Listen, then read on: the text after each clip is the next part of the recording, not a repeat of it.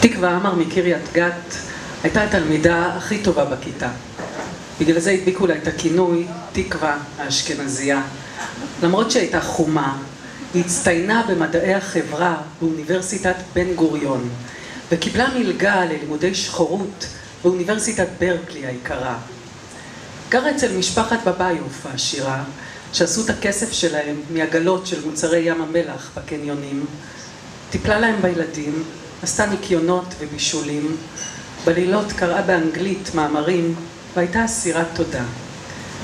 בקורס על מלקולם אקס התיישב לידה אבנס, בחור שחור, רזה, במשקפיים עגולים וצמות קטנות. רגלו התחככה בשלה. אף פעם לא הזדיינתי עם יהודייה, הוא אומר לה עוד באותו הלילה כשהוא מעביר לה את הסיגריה. אני לא בדיוק יהודייה כמו שאתה מכיר מוושינגטון די.סי, היא מסבירה. אני יותר יהודייה ערבייה, קוראים לזה מזרחית. קראת את אלה שוחט? הוא מחייך, מה ההבדל? אני שחור, את לבנה. לחייה מחדירות ממבוכה.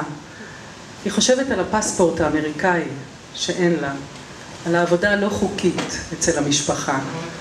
גופה מתכווץ ברגע החדירה. מעבר לכתפו ניבטות עיניה של אמה. שמע ישראל תקווה, נשמה. היא נושמת ונכנעת לתחושה. אין לה גוף ואין לה צבע. מרוקנת מעצמה.